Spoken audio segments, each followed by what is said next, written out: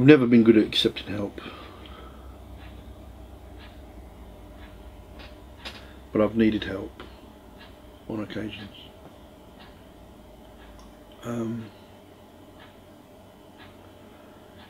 and the times that I've had to ask for help are probably to do with finances. When business has gone down and um, the banks have moved in and I've had normally these this is this is not a, a an occasion that is infrequent. I've always had to juggle money around. Rob Peter to pay Paul because of the nature of the way things are. But I've managed most of the time. Um, but when I have when I've depleted all my resources I've had to ask for help and I just hate hate hate hate asking for help I just don't like it One of the dangers of being a father is thinking that every source of help always comes from you. And I think this is um, a trap that lots of fathers fall into and um, are, are, um, are very um, are very susceptible to pride. Purely because we we are always the source of the people in our household. Of course, society is trying to blow all these things, either distort them uh, um, or change them around, and and and, and um, demasculinize men um, of, of not being the source or the power source or whatever whatever they want to say. I don't know.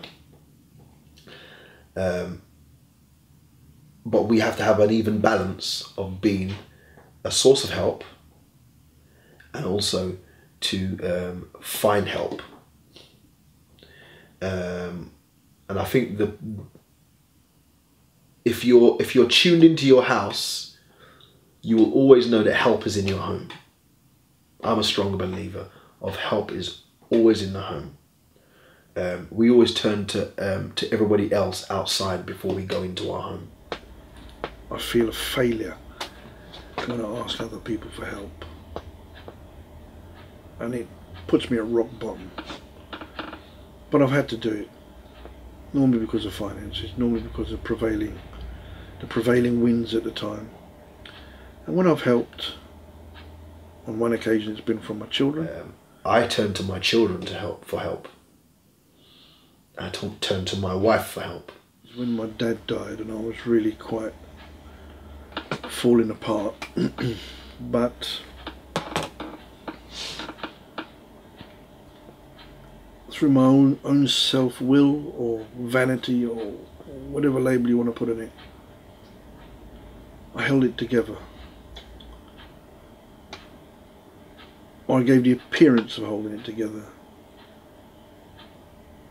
I've found that 99% of the time, 99.9% of the time, the answer is always in my house for help. Um, and I think it's one of the, the one of the biggest untapped resources for help. My wife held me. She carried me. Didn't have to ask, she was just there.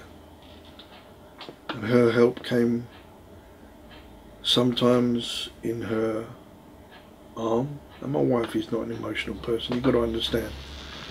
My wife is not a outwardly loving person. She doesn't show her love for me. She doesn't run to greet me when I come home from work. She doesn't do all of sort of hello darling, I love you and kisses and call me home. Nah, she ain't that woman at all. Not at all. But she loves me. The fact that you know my wife could let me um, spend um, you know crazy amounts of time on a project and say you know what go for it it reminds me of that scene in rocky 2 when she was in the coma and um, Rocky didn't. Rocky couldn't do that fight, the second fight, the rematch, until she woke up out of that coma, and she said, "Win." And he went and and and and won. He went into training. He went crazy, harder than he ever did before. That's where the house. That's why I regard the house in. It's that win-win situation. You can go back in the house recharge. Win, daddy. When your wife says, "Go for it."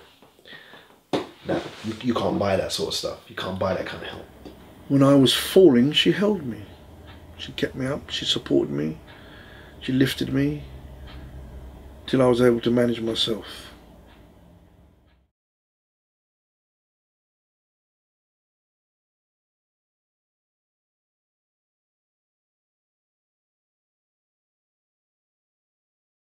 I couldn't afford the car.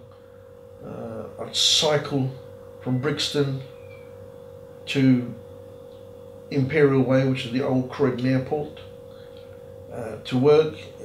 It's about 12 miles cycling. I'd have to clock in at half past six in the morning.